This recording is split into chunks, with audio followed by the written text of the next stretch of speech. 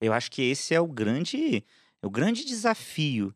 Compreender que nós temos emoções que são naturais, que nós precisamos sentir essas emoções, Exatamente. mas ao ponto de ter um eixo que está ali ligado. E aí, para mim, o que eu acho que faz sentido é essa conexão com a espiritualidade, né?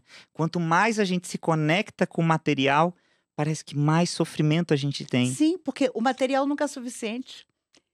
Eu me lembro que na minha adolescência, a gente usava um tênis novo e ficava com medo de ser roubado.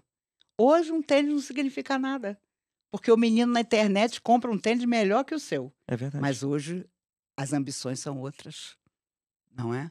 E são terríveis, porque são inalcançáveis. Então, é preciso o discernimento. É preciso você pensar: eu estou feliz comigo mesmo? Porque quem não é feliz consigo mesmo não faz ninguém feliz. O que, é esse incômodo? O que, que é essa tristeza que me acompanha, que de vez em quando fica tão forte? Né? Por que, que eu não estou tendo paciência de ouvir o outro, de me interessar de verdade pelo outro? Às vezes é fácil lamentar a guerra em Gaza, mas temos a pessoa que trabalha na nossa casa vivendo um drama e nós nunca perguntamos para ela nem onde ela mora. Então nós temos que ter aquele olhar que realmente envolva as pessoas a começar por dentro da nossa casa, que é o grande desafio. Somos pródigos em abraçar um amigo, em sermos solidários com um namorado, mas às vezes temos um idoso dentro da nossa casa que quer tanto ser ouvido e nós fingimos que ele não existe. Aquela tia do Natal que todo mundo evita. A senhora quer uma rabanada? Não, tudo bem. Então já sai de perto. Já sai fora. Ah, né, antes do Natal, já, alguém já escala. Quem é que vai conversar com a tia Fulana? Porque é quem não tem paciência com a tia Fulana. Isso existe na família. Você imagina entre os países. Por isso, uma guerra começada é muito difícil de terminar. E se alguém não chegar lá e disser chega, né? Aquilo ali, no caso de Gaza, de Israel, vai virar um conflito muito grande. Porque nós estamos todos observando. E todos os dias morrem crianças, morrem idosos. Esses reféns talvez não estejam mais vivos. Sim. Todos, com certeza, não estão. É, Não é? têm. Então você vê, são coisas indignas acontecendo de um lado e de outro. E alguém quer ser sempre inocente. Alguém quer, quer sempre dizer, nós é que fomos atingidos. Mas a partir do momento que você reage com igual violência, a coisa empata.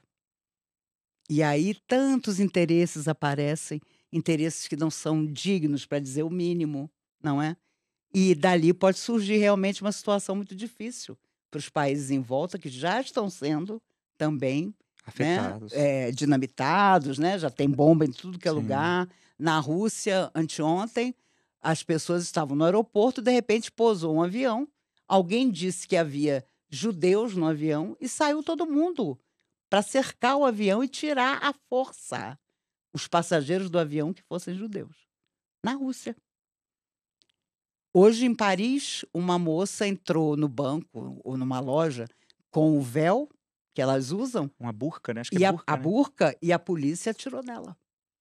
Então você vê que isso está, de alguma forma, aqui e ali, sabe? Começando a se espalhar, porque existem loucos em toda parte, não é? Numa festa de Halloween, anteontem, nos Estados Unidos, alguém entrou armado e matou duas pessoas. Sabe? Na certa achando que estava fazendo alguma coisa pela festa do Halloween. E é complicado, meu amigo, você perceber que a violência do homem ainda não acabou. E Jesus chega e diz assim: Amai os vossos inimigos, orai pelos que vos perseguem. Quer dizer, hoje ele estaria pregado em algum lugar. Totalmente. E dois mil anos se passaram. Mas ele não seria aceito, acho que por religião nenhuma. É. Ele não frequentaria centro espírita, porque tem preconceito, tem intolerância. É, Eu fico pensando nisso claramente, mas exemplo, você pega o Francisco de Assis, É.